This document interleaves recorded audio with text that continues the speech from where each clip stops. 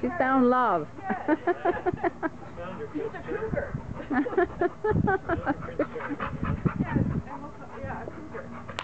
Oh yeah, that's, she's a cougar, definitely. you got a girlfriend, Tyro? I know, older women are not.